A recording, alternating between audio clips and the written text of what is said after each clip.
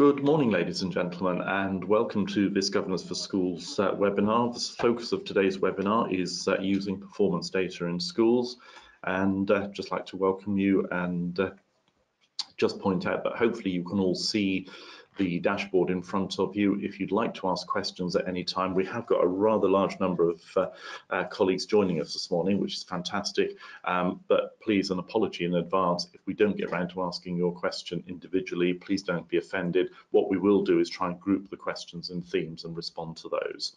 But please don't let that stop you uh, asking questions as, as, as we go through the session.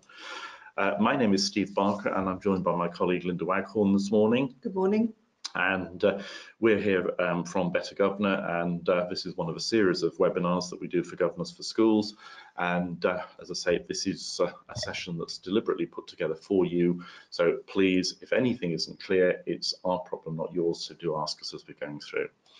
So what we're trying to do in the session this morning is uh, on this, uh, this slide that's actually in front of you now.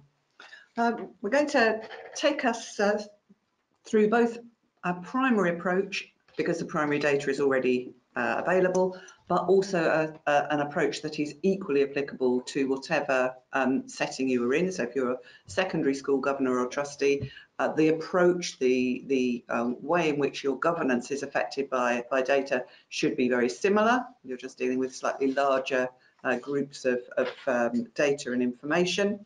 Um, but we're going to have a look at uh, primarily the performance data reports that the DFE uh, publish and that Ofsted use when they're framing an inspection. We're going to look then from a governance perspective, how do we use uh, those um, reports uh, and what uh, key messages we can glean from them and use these to shape and to encourage discussion and debate at school, um, which uh, will then fuel that last bullet point about equipping you uh, to better ask questions uh, as governors and trustees in your own context and setting. And I think one point just to make before we we move on, folks, is that certainly I know Linda and I are of one mind on this one that what we should always do when we're thinking about data, whether it's finance data or performance data, which obviously is the focus of today's webinar, data doesn't provide answers all data does for us is actually fuel our questions as governors. And I think that's a really important um, springboard to uh, launch into this webinar from. So there are two key data reports, as Linda's uh, um, already said, and uh, that slide is really just a marker for you just to uh, remind you what those um, acronyms and uh, abbreviations actually stand for. ASP, some of you may remember a report called Raise Online if you've been governors for a while. ASP is the uh, evolved um, form of the old Raise Online report, analyse school performance, and this is produced by the Department for Education and uh, all schools can access this. And that's supplemented by the inspection data summary report which is using the same data but this one is actually put together by Ofsted. And a bit of a health warning on this at the moment the current versions of IDSR that are actually in your schools do not contain all of the uh, the latest data. So there's a, a, a little bit of a health warning that we'll uh, pick up in just a moment on that. So if we think of the first level for governors, we'd probably start with the inspection data summary report because it gives us a fairly headline approach uh, to uh, our school's performance and trend over the past three years and how our school's performance compares to national figures. So pulling together all of this information, the um, the DFE have produced this headline report that says this is the place in which you can start. What is really helpful about this for, um, for governors and trustees is that uh, the way in which it, the template is put together, it gives you some key pieces of information uh, from which to uh, act as a sounding board for what you might need to ask uh, more. The release date, as you see this uh, slide shows you the, the release information, this is provisional information um, at this stage and that will be validated in the spring next year. But this is usually the time of year when governors and trustees in primary schools will be discussing this information. They'll just set the school development plan uh, and they will be checking that their priorities are in line with their performance. Um, for secondary schools, this information will not be issued until uh, towards the end of this calendar year, possibly even the beginning of January. And just one other point to make on that, and this ties into a question that Brendan's just uh, um, posted. The data is provisional and a lot of governing bodies, a lot of trust boards who've already looked at this will recognise that some of the finance data, which is also being included in IDSR this year for the first time, is also wildly inaccurate. Some of it doesn't actually make sense. I think the one point to actually take on board with everything in IDSR all of the commentary, and it is a, re a, report that is driven by a lot of commentary. The commentary is actually generated by computer algorithms. So it's an analysis of the data and it will churn out sentences, statements based on that data. Now, if there are some imperfections in the data, those need to be corrected before one can rely with uh, any great deal of um, certainty on some of those statements that are coming out. And a very good example, uh, Linda's just said the provisional data, that is so that schools can check. So if you're a governor and going to a meeting um, in the next few weeks where data is actually being the focus for discussion, ask the head teacher, ask the data lead in your school, have we checked that the data is accurate? If it isn't, have we reported back? Because it's only through schools reporting back on those areas of inaccuracy. And it might be finance data, but it might be the number of looked after children you've got. It might be the number of boys versus girls that you've got, or even the number that sat the test. So all of those things have to be um, straightened out before the um, validated data is actually published in the spring term. And uh, also this information is uh, is shared at this stage with the understanding that um, head teachers won't just give you the report and not uh, provide a commentary and an explanation. Uh, they will have already looked at this in some detail uh, before it comes for discussion at your governing body meeting and be able to talk you through uh, some of both the inaccuracies and whether they've uh, reported them and also some contextualization of, of some of this information as we'll see as we go through.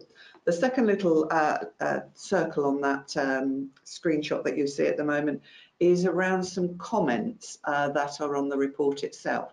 So where they're in that very light grey uh, area, then those are things which have not thrown up uh, anything from the data which warrants further discussion.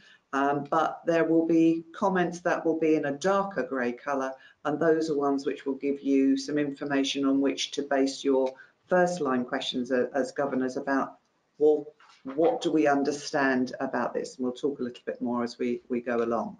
Uh, the greyed out area on the report, uh, that just covers up the information about your particular school. So, so you'll see you, the information that is relevant uh, to your school and your leadership. Okay, so let's move on to uh, the next slide because then you can see that in action. So what we've done is stripped out all of the pale grey sentences because they're either there because as Linda said there isn't sufficient data or there is a general principle at the moment that applies both to the IDSR report and to the analysed school performance and that is that the looked after children data is not yet available. That has not been um, correlated and analysed by the department yet and because of that there is no data either for disadvantaged pupils pupils, and that's because looked after children are part of that group, of course. But what you do see on this one is the, uh, um, certainly there's some common features in all of these reports. They tend, they don't tend, they do always go in the order of reading, writing and maths, and they always go top of the school down to uh, the bottom. So they'll start at key stage two if you're a, if you're a primary and go down to key stage one. And similarly um, in secondary, they'll start at, at the top of the school there as well and there is always a comment on absence at the bottom.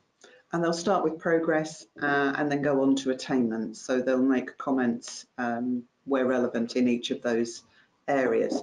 The, on the gov.uk website, there is a, a, very good guidance document for governors um, to help you unpick the IDSR with some samples like this and there are versions both for primary and secondary. So this if this is a new area to you and you're coming up to your meetings where you'll be discussing this looking at the guidance might also uh, add a background uh, some background information for you. A um, comment here from Rosemary. Rosemary saying secondary IDSRs have already been released. Um, it's not actually about release, Rosemary. There is always an IDSR on the website um, for your school. It's about when it's updated. Yes, it's out there for secondary at the moment, but if you look at the small print, it's all last year's data. I haven't, sorry, excuse me, I haven't seen one yet with this year's data on. So sorry if, if we've confused people. We're not saying it's not there. We're saying that the version that is live on the site at the moment has not been updated with the 2019 data. So again, one of the key messages that we give that we give to governors, I've already said that uh, um, we're not we're not expecting data to actually uh, uh, provide answers for us. We are expecting it to uh, um, inform our questions, but we should also be thinking about data from the perspective of how useful is this to us? How does this inform our knowledge as governors about the strengths and um, uh, relative uh, areas for improvement in our school? And in order to do that, we have to be able to discern what are the key messages coming out of the data. Now, there's nothing magical about you know, the, the number three. I just happen to like it. My birthday's on the third, but I'm sure that's got no bearing on it at all. Um, but very often it's helpful to say to, say to ourselves as governors, and actually we'll often give the message to head teachers or data leads as well, to say, what are the three key messages I take from this, or I want governors, if I'm a head teacher or a data lead, to take away from this data. So you can see these statements, and we're not going to go through these statements. You can read those for yourselves on the current slide. But you will see that on, on, for example, both the reading and the writing, where it's talking about progress in Key Stage 2, uh, you will see that it's still making progress comments based on the previous years. So this isn't the 18-19 data, this is the 17-18 data. And the relevance of this, of course, is that this is Ofsted report, and until the IDSR is updated, this is the progress data that they will look at on coming into the school. Um, we've got a couple of people putting messages up at the moment asking if there's a technical problem. We're not aware of one at our end. Um, if you can't see the screen at the moment, I would suggest that perhaps you reboot your machine and uh, see if you can uh, uh, get your vision back that way. And certainly as far as, so going back onto this slide now, where it relates to the current year data, you will um, see that they do actually mention 2019. So you've got some progress um, comments which relate to the previous year, but where it's talking about attainment. So on writing, for example, it says Key Stage 1 attainment at the expected standard, and then the percentage there is the percentage of children in that particular school in Key Stage 1 who sat the test and reached that level. And obviously then it's making a comment about where they sit in the national rankings but it does specifically tell you that's 2019. So from our perspective, what we're saying is what messages we take away from this as governors, and the three key messages on this should be that there is a question mark over writing because of the, the low attainment there. Similarly in maths, and then the bottom one, there is a comment about attendance compared to similar schools. Now, it doesn't matter what those messages are. Obviously, this is an anonymous report we're using today. The point is that we have taken three messages away from that, and those are the areas that should be you know, perhaps uh, the focus of some questions from governors. And of course, the, the report is, is generic in terms that it's drawn information from uh, the data, but the discussions that you have with your senior leaders in school to interpret and unpick the why and the how and the what is happening uh, next is is very significant in your um, holding the school to account. So being able to analyse, well, what is happening in writing? Where do we think we are? What has the school been doing about it? Uh, and similarly with, with, the other areas. And um, are there is there more contextual information that help us unpick and understand the situation uh, and what has been the impact of the school's approach to improving progress in those areas. So those are the key things that those headline statements should prompt us to have our discussions uh, with our senior leads about. Now, sorry, if there's a couple of questions come through, if we skipped too quickly over that last slide, let me just flick it back for you. Sorry, wrong way. Um, I'm not sure whether you can see where the cursor is. I hope you can now. But here on progress, so this first one on reading, key stage two progress, and it tells you it's for the previous year, 2017 to 2018. If you drop down to writing where it makes the comment about key stage one attainment, there It's specifically relating to 2019. That was the comment that we were making. Okay, so let's move forward. Um, so we we should, as governors and trustees, be aware from the work that we do in our governing body meetings and our visits that we make to school and the analysis and reading that we do of the documents that we're provided with, this should not come as a surprise. We will have talked uh, uh, about early stage performance outcomes at the beginning of the autumn term. It would have fed in to our school development planning um, in both primary and secondary. So there shouldn't be any surprise when we see this data. There may be some contextualization and some explanation um, and some deeper conversations, but what we should be using these reports to do is to increase our awareness. So has the school updated its self-evaluation document? Um, uh, so particularly as we've had a new Ofsted framework. Many schools have looked at how they um, undertake school self-evaluation and reshaped it around the new Ofsted judgments. Uh, but are we aware of the evidence-based decisions and judgments the school has made about its current strengths and the areas for development? And have we as governors participated in, through the work we've done in, in meetings, through our approval of the school development plan, how, are we confident that we have assured that the school has made a plan that engages with development of those areas of weakness? Uh, and then we should be able to see through looking at the IDSR that if uh, writing was an issue, which we should be aware of because we've said it's no surprising, no surprises, we should then be aware of the actions the school is taking in its school development process uh, to address um, writing it, it, either in that key stage one area or in the area in which the report is indicating um, outcomes are still not good enough for pupils.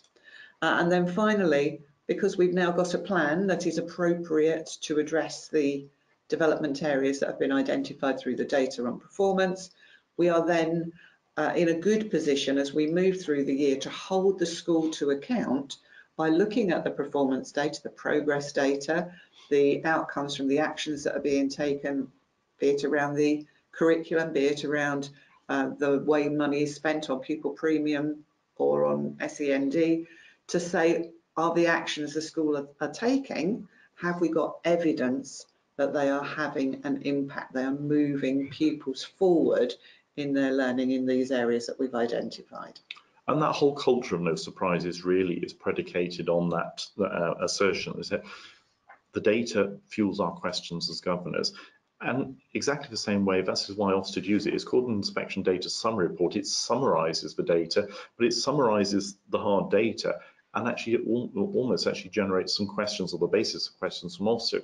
And there's a couple of questions coming through on the uh, um, the dashboard our end here about how Ofsted use this. And yes, absolutely, Ofsted will be looking at this, whether it's been updated or not, and using that to form the basis of inspection trails when they come to visit our schools. Um, and I think that that's something that we do need to actually think about. There's a question here from Bill about Ofsted not using internal data. Um, that's a, it's a very good question, Bill, because yeah, Ofsted made it very clear that they are not going to spend time during inspections poring over schools' internal data. That does not mean they don't expect us as governors to know what the internal data says to us. Um, schools should be using internal data, but what Ofsted are now interested in is saying, okay, what does the data say, say to you? So in terms of those three key messages, if the data is telling you in your school writing is an issue, early years foundation stage, percentage of pupils getting good level of development, and maybe key stage one maths are the three key areas, Ofsted will be saying, okay, so what have you done about it? Show me. They don't want to see the data, they want to know what you've done based on what the data has actually told you as a school, and that includes us as governors. Okay, so we're going to move away from IDSR now and actually uh, move on to the Analysed School Performance, the ASP report. And again, as Linda said for um, IDSR, the big box on this one again is just to uh, um, cover up the school's identity because schools have very kindly lent us their data for the uh, purpose of today's um, seminar but obviously it would be inappropriate to uh, say who they were because this is confidential data. None of this is actually uh, uh, in the public domain as such. And again, you will see on this um, slide in front of you, I'm just hovering the uh, cursor at the moment, this is provisional data for 2018-19 in ASP, and CLA just stands for Children Looked After. Some of you may be more familiar with LAC, which is Looked After Children, means the same thing. But because that data is not available at, at this particular point in time, um, the breakdowns for Looked After Children and because they are part of the group known as disadvantaged children, they are not available at this point in time either and it's just making the point underneath that that updates will uh, will come through as and when that data is available. So the first chart that you've got on the bottom of this slide is a really a top, a top level key stage two uh, performance indicator looking at the three um, core subjects reading writing and maths in that order and you can see at the bottom there that uh, you've got um, each of those subject headings is actually in bold and immediately underneath that you have um, number of pupils. Now number of pupils there means the number of pupils where it is possible to um, look at a progress measure. Progress is measured from key stage one um, outcomes in terms of SATS results to the end of key stage two. And it's very important to actually look at the number here because it may well be, in fact it will, you'll see on the, uh, the next slide hopefully, uh, that the numbers will be slightly different, possibly children who actually sat the test and those where there is a progress measure. And that's simply a reflection of those children in your school where there isn't available match data. So it may well be that they've come from overseas, they could have actually transferred in from the independent sector into the state sector. Uh, but any child that actually transfers from a school in England, and it is England because Wales, Scotland and Northern Ireland have their own education systems, any child that transfers in will have their own unique pupil reference number and their data will be captured by the uh, school that they're coming into. So here we've got 27 children, no adjusted scores that would normally be adjusted for children with um, uh, perhaps uh, very specific um, special educational needs, disabilities, etc. And this is giving you a progress measure and uh, it's a traffic light system we use here. So the yellow actually indicates that this is an overall average banding and progress is usually um, denoted on uh, what Americans call a bell curve, or we would probably more likely call a normal distribution curve. And the midpoint, the average point, is zero. So anything that is above zero would be seen as a positive score and obviously the negative scores below zero. But given the confidence intervals, i.e. the, uh, the range within, within which, because of the sample size, uh, we can say that, uh, the specific number uh, definitely falls within that range. That's why you're getting an average score here, because we just take the example of reading, where I have the cursor at the moment, we have a, a, a average progress for the school of minus 1.64, but the confidence interval just below that says that the number could be anywhere between minus 4 and 0.7 and obviously 0.7 is a positive score so that's why the overall result is being judged as, as, as, average there. And of course this is an average of all of the 27 children who sat the test but also had key stage 1 data to compare it with. A couple of questions around those of you that uh, are not a primary school, so it might be an infant school or a secondary school, because we're using the slides from the primary release as uh, indicators um, you would have to shape your understanding of your own uh, ASP against the reports for your phase of school. So um, an infant school, there's going to be a very different uh, set of data, it won't include key stage two, and secondary, it will, it will look uh, very different because it is again against different um, elements of, of uh, education. Okay, just we've got a couple of questions also coming through here about my comment about the uh, the number of pupils and progress scores. Um, Kieran's asked a question, does the methodology apply to secondary? Absolutely it does. If you don't have a key stage two score, you won't have a progress a, a progress measure attached to that. So uh, yes, absolutely. And Martin's actually asking, how will we know what proportion of children um, it is out of a total? There are other slides in the the pack, other tables in the pack that do give you that that information. Okay, so uh, let's uh, move on to the next one. Again, this is the same school we're looking at here, and this is actually giving you a breakdown. As I say, this is looking at a combined um, picture for reading, writing and maths. On the last slide, we are looking at them as individual subjects. This is saying what proportion of children, what percentage of children in this school who took the test got the um, expected standard, the age-related expectation, um, or higher in reading, writing and mathematics. And here is a good example. You will see this is the same school. So we only had 27 children where we could do a progress measure, but this is telling you that the school, clearly we know from this it's a one form entry school, had 30 children in that class. So of those 30, previous slide tells us 20, 27 of them had matched data. Now again, similar formatting through all of these, what you will always get, your school is always in the pinky magenta color that is on the top there. Uh, the local authority average, whatever your local authority or your local borough is, if you're in a metropolitan area, is the darker grey shade, and then the national average is the bar below that. So what this one is telling us for this particular school is that the top bar chart is those children who got the expected or reached the expected standard or higher, and our school 70% of uh, children actually met the expectation, which is in line with the local authority average and is five percentage points above the national average. And then the bar chart below that is just giving you a breakdown because obviously the upper bar chart is those who got or who reached the expected standard or higher and the bottom bar chart is the higher part. So those children who um, went on to actually reach the higher standard, the school that we're looking at here 10% is for school value, that's the one in pink. Um, local authority 14 and the national average 11. So you can see that although we've done reasonably well and we're more, more or less average as the progress table implied as well, um, attainment is, is, is, virtually in line with um, national average, slightly above. At the higher level, we're a little bit below that. And this is giving us a three-year trend. You've got 2017, 18 and 19 and you can see at the top it tells you how many pupils there were in the cohort there. And this really does, let's say one of the, the most important things for, for us, I think, when looking at all of this data is, is there a trend over time? Now, recognizing, of course, that we're talking about different cohorts of children, so we're not comparing like with like, but this shows, so if you look at the three pink bars on the uh, for, for, each year here. You look at the pink, the pinks all together. This is actually showing a picture of some fairly dramatic improvement in this particular school at a time when the national average is more or less stable. Um, for the last two years, a little, a little, bit up from 17 to 18, and the local authority average again um, more more or less uh, stable. So this school is actually doing very well in comparison to the, the local of the national average.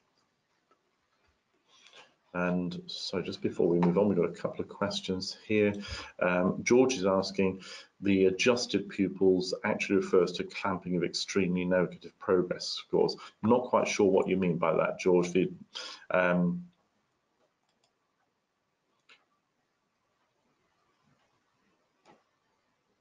you're saying about the confidence limits. I mean, the confidence limits are, are there just to actually give us some assurance about the validity of the data. Um, as governors, we don't need to be absolute experts on uh, understanding the statistical significance here. We just need to know the methodology because what Ofsted will do is take a view, is progress in this school in that band that we can with confidence say is actually an average measure, is it above average, etc. So we don't, as governors, I would suggest it's not for us to be uh, particularly concerned about the uh, the mathematical explanation of that, just to understand that this is a test that the department do on it to say whether this is a statistically reliable number or not. The important thing for us as governors is to know what does that actually mean in terms of the progress? Because this is individual children it's not numbers we're talking about. These are children here and are we assured as uh, as governors that our children have made progress in their learning if it's a progress measure that we're looking at Okay, so let's move on to uh, the next slide, which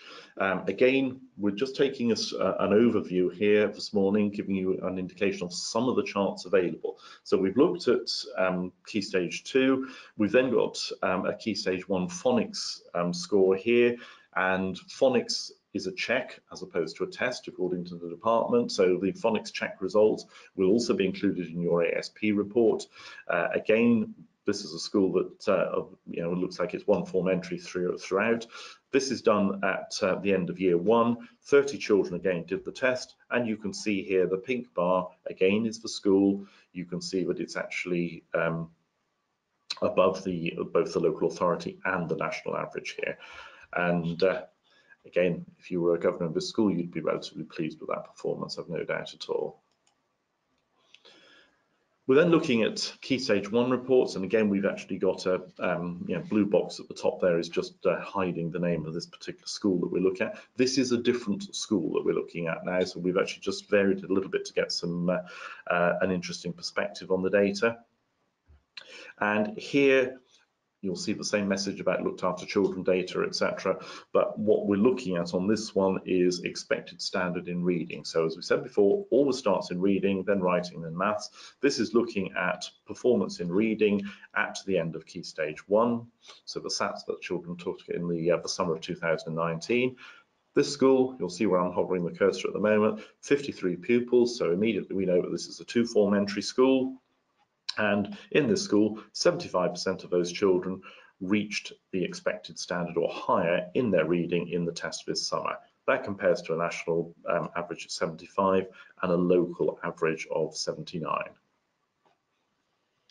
Um, there's a question from Henry asking about where to find these reports. It is a secure web-based um, access uh, and therefore your school will have the access information sent to them. There is a governor level access permitted to this and usually um, you, most schools, most governing bodies will assign a governor or two to a deeper level analysis of some of this information and therefore they would be given the secure access as a governor uh, and this is a quite a quick process. I was speaking to a governor yesterday who um, requested it from his school. Within 10 minutes, he'd been able to um, to get on to the site and uh, and secure the information.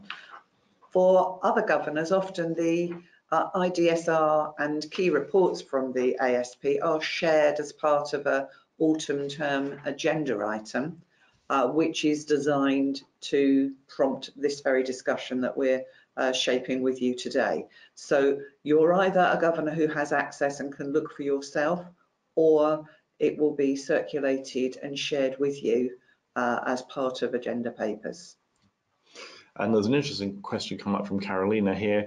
Um, Carolina is actually saying is the progress um, is, is measured at the end of every year versus the results of key stage one or only at the end of key stage two schools will obviously be looking at, obviously, hopefully be looking at progress um, at every point through a child's um, you know, career in the school. But the data that we're looking at is only end of key stage two, because obviously schools will be publishing their SATs results or the teacher assessments at the end of each key stage. So progress that we're looking at here, you can only have a progress measure at key, the end of key stage two, because key stage one you can't measure progress from early years foundation stage because the curriculum's not the same. So it's a very different uh, um, perspective that we're taking. And Katie's got a question here. Does this split out SEN and pupil premium disadvantage? Um, it will, um, Katie, you might have missed the comment right at the beginning. At the moment, because looked after children data is not available, looked after is part of the set that is referred to as disadvantaged. The other and the most significant part of that is those generating pupil premium for the school, and therefore that data is not available yet. There isn't a standard, this is unusual. Last year it was available when the reports were first published. Um, all it says on the reports at the moment, as you can see on this page here, this information will be included in a later release, no timescale included on that. So this is just a question for head teachers, um, data leads in schools to really just keep an eye on the website because it will be updated in due course.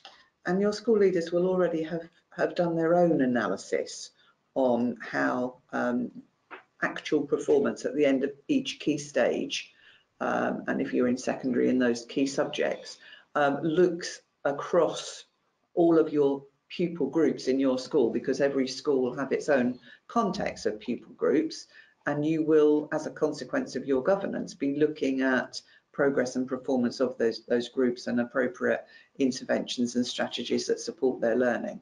So you'll have a governor looking at SEND, you'll have um, a focus on the pupil premium strategy and the spend and the impact of that spend. So these reports are not designed to um, do that piece of work for you, but to provide some headlines and some place uh, to open those discussions. A couple of people asking questions about will a copy of these slides be available? Yes, it's already been uploaded onto um, the platform um, by Governors for Schools. So at any time between now and the end of the uh, webinar, and there'll be time at the end of the webinar, if you click on the little document icon, you can actually download those. Um, somebody's uh, Nikki's asking some questions about there's quite a few questions coming up about phonics here is what's the maximum score for phonics? Um, the maximum score is 40 the pass mark even though it's a check and not a test uh, the pass mark this year is actually um, 32 uh, but again good to actually look at these in your own school setting rather than on, on a, uh, a national basis anyway. Um, what, we, what we've got on this next one is just showing a little bit of a breakdown. So sorry, if I just flick back to the last, sorry, the last slide, going the wrong way. Um, what you can do is click on the question mark that I'm actually hovering over there, or even view this as a table, and it will actually give you more details. I'm going the wrong way completely now, sorry. Um, and what that will do is then give you a breakdown so you can see here looking at some of these groups, and this is where once that looked after children and disadvantaged children data is available, those lines will be added to this table. So this table here, this is looking at key stage one, it's attainment, in other words, performance in the test. This isn't progress because we don't have progress for key stage one, but you will get this sort of breakdown for secondary and for, but for uh, um, through primaries key stage two as well. But what this is saying is that for each level in reading that we've we can actually report on, it will tell you what the split is against these various characteristics. So we've got all pupils, the cohort, we remember there was 53 children in this particular cohort who sat the test, then the gender split, um, special educational needs with an educational healthcare plan, EHCP, um, those who don't have an educational healthcare plan but nonetheless are receiving special educational needs support, those with no special educational needs, English as a first language, and those with English as a, an additional or a secondary language. Now, the important thing to note on this table, and again, you'll get something similar for uh, all, all other as well, you might remember from the slides we looked at that looked at reading attainment, it always says those achieving the expected standard or higher. Now, that's this block here where I'm hovering the cursor now. Now, obviously, those at greater depth, are included. They're a subset of here. So you, if you need to imagine perhaps a, a red line going down this part, because then everything to the right of that on the screen in front of you, those working towards and those at pre-key pre stage, that is your total school population. So the numbers there will add up to 100%, but that excludes those at greater depth because they are a subset of this group here.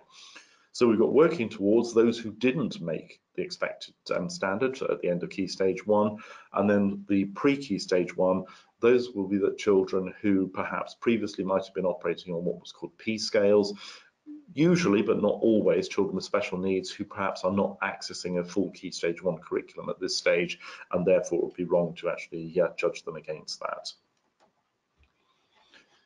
And let's see, we've got a few more questions. Uh, Keith is asking, would we, would we be able to find out if progress is made at the top end of ability or the lower end?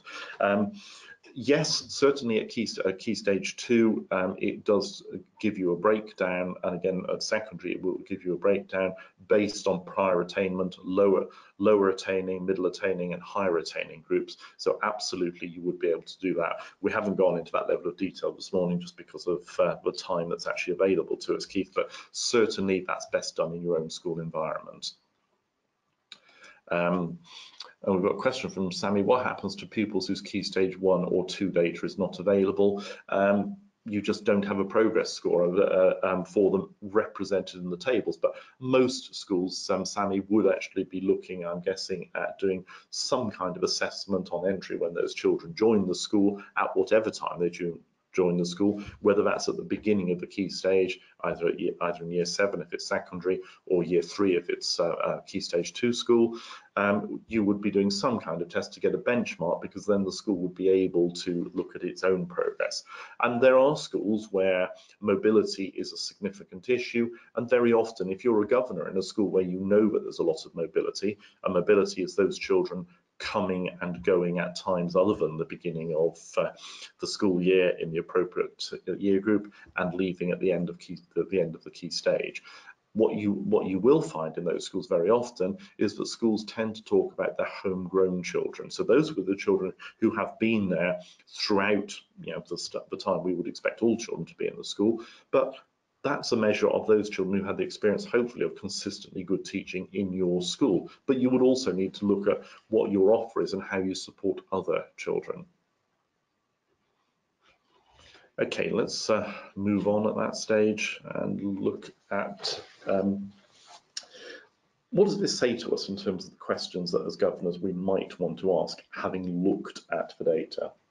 So clearly some schools will have much greater number of children with special educational needs and disabilities or uh, come from a disadvantaged background and attract pupil premium funding or come from a specific pupil group. And in this example, Gypsy Roma Traveller is the GRT um, uh, acronym. And, and it's important that you understand as governors and trustees what your local context is in your school, what your groups how significant um, including or excluding their um, attainment uh, from the figures uh, compares with your um, local authority or national averages so that you understand uh, the impact of, of what the school is doing to meet those pupils' needs. So, for example, some of your children, uh, some of your SEND uh, D children who have education and healthcare plans their expectations in test results may look very different in terms of, uh, of your whole school community. So again, it is about the design and the application of learning for pupils from all of those groups being appropriate for them um, and understanding then, if we go into that next bullet point, how your school is actually addressing learning for those pupils? Is it appropriate? Is there any additional funding? What has been the impact of applying both those different approaches and applying the use of that funding to support those different approaches?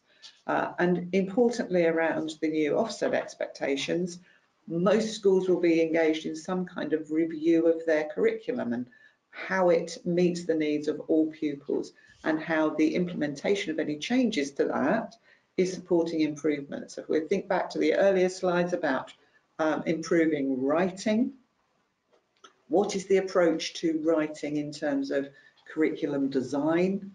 What are our pupil groups that are significant to our school? How have approaches been adapted? How have we used additional funding to support those pupils making better progress and achieving better attainment?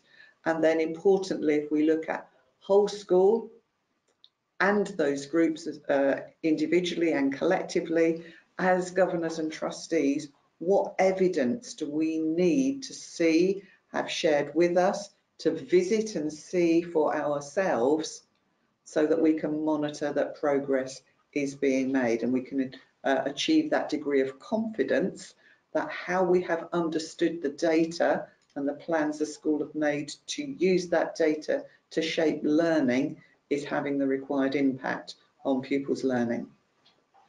And again, don't forget, this data is looking, if you're a Key Stage 1 only school, this is looking at last academic year's data. Those children no longer in your school, or even if it's a through primary, these are youngsters now who have actually moved on into the next key stage.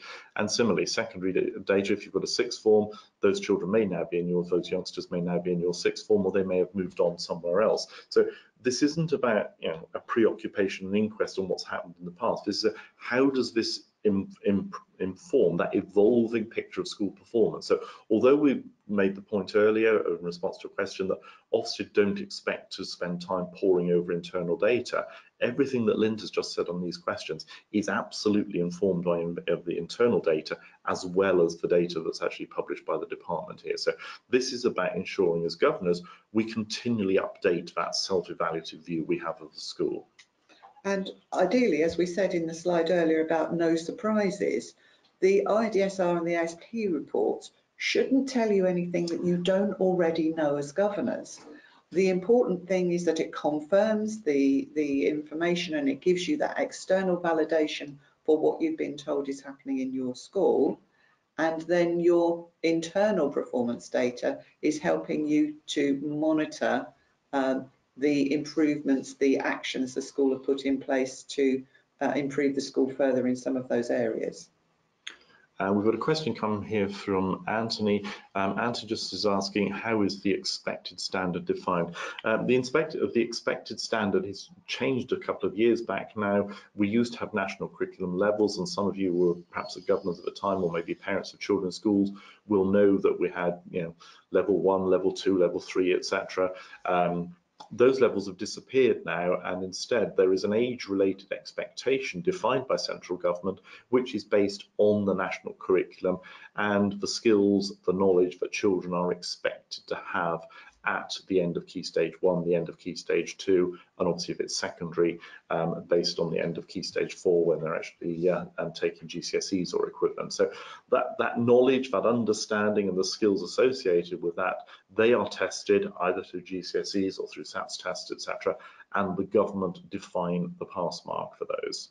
So that's what's meant by the age-related expectation there.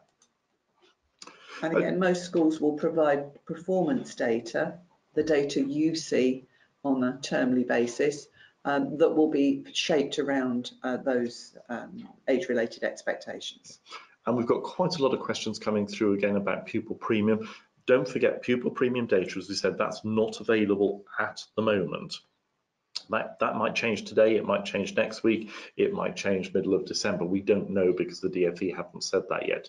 But what we do need to ensure is that we continually are asking the question, but somebody in our schools, because it doesn't necessarily have to be us, as Linda said earlier, somebody in the schools is keeping an eye open for when the tables are updated because we will absolutely need to look at that data for disadvantaged pupils the moment it is actually published. And hopefully you will have spent some time this um, early this term looking at the pupil premium strategy for your school. Uh, and again, when that information is published, there shouldn't be a surprise because you should already have picked up those areas uh, and, and how you're going to spend that money and with what impact you're expecting uh, to see support for those pupils. Okay, so what we're going to do is uh, launch a launch a poll at this stage, and uh, we got an opinion poll this morning, which I'm just about to uh, launch, and hopefully you can uh, see that on your slide now. And question we're asking is how moving forward from today do you think your governing board or your governing body will use the um, school performance and the IDSR report? And you've got four choices there and I can see a few people are uh, beginning to vote already. So if you'd like to just scan down those and uh, vote now, and uh, we'll close the poll in a few moments and uh, share the results with you. Okay, so about 60% of you have voted so far. So if you would cast your votes now, we'd be very grateful. Okay, nearly everybody has voted now, so just a couple more moments and then we will actually close the poll.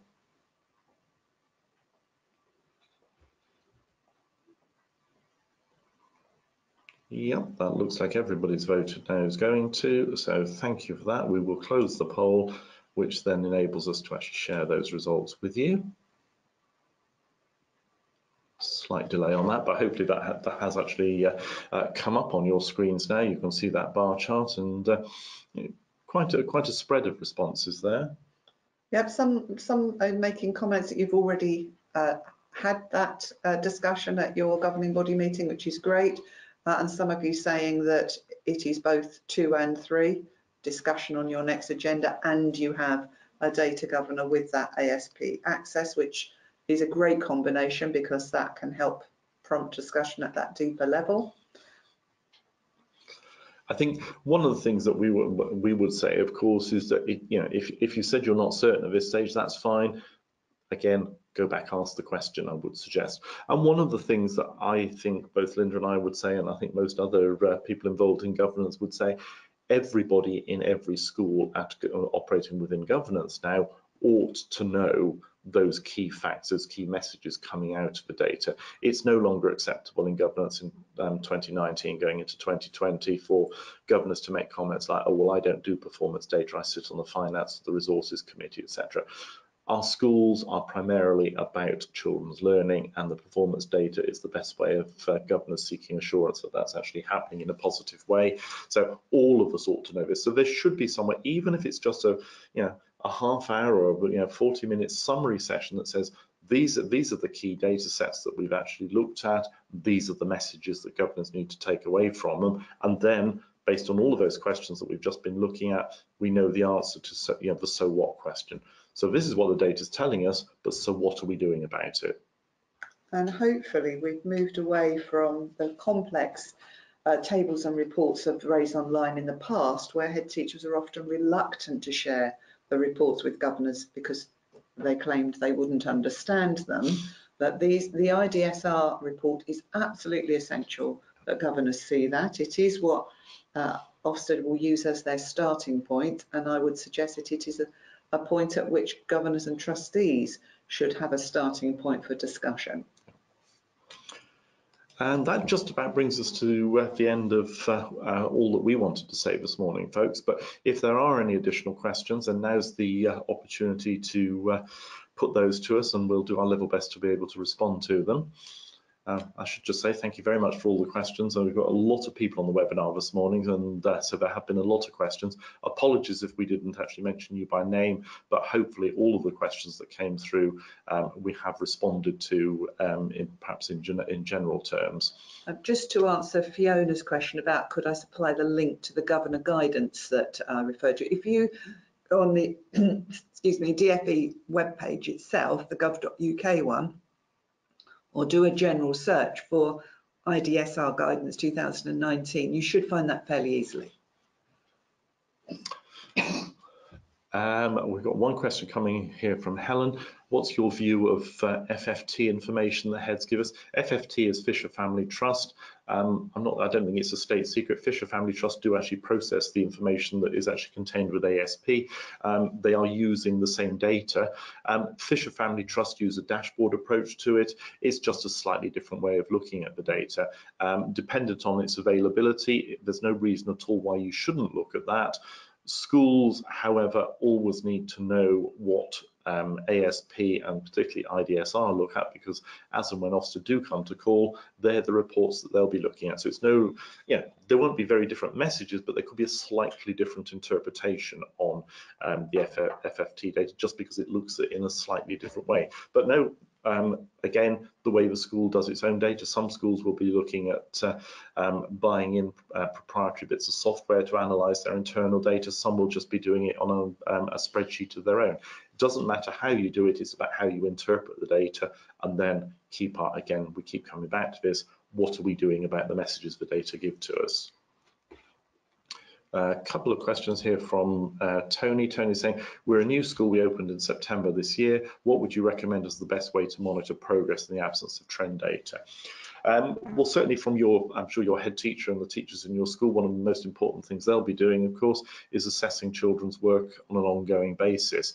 Now, it's not for us as governors to look at individual named children's work, but for teachers to actually give um, governors an overview of what their um, book scrutiny or work scrutiny is actually telling them.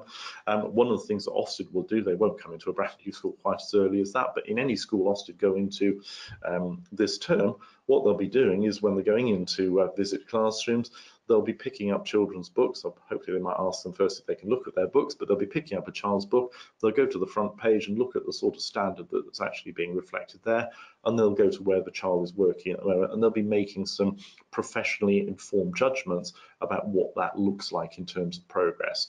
And again, you would be expecting teachers right the way through from early years foundation stage up to sixth form to actually be making similar judgments on an ongoing basis. Are pupils, whatever their age, making the progress that we want them to?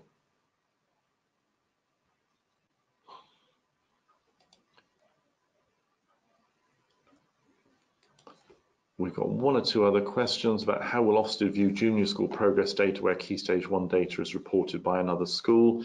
Um, it doesn't matter where it comes from. As I say, if you've got children moving in and out of your school, sorry, this is a question from Lynn, um, the, the data is the data. It's the nationally recorded data. Um, if your school is actually saying you don't like the data that comes from other schools or you don't think it's reliable, that will usually be followed by a question from Ofsted, so what are you doing about it? One of the things that you might want to do, if you're not already, is engaging perhaps in some meaningful moderation across schools so that you all have a shared understanding of what um, age-related expectation or achieving age-related expectation actually looks like. And some junior schools will will have their own tests for pupils on entry if they've come uh, you know, it's, it's, a separate junior school uh, in the same way that uh, many secondaries uh, perform some kind of test at the beginning of year seven. Okay. Quick question here from Anthony. Anthony is saying, how do we distinguish between attainment and achievement?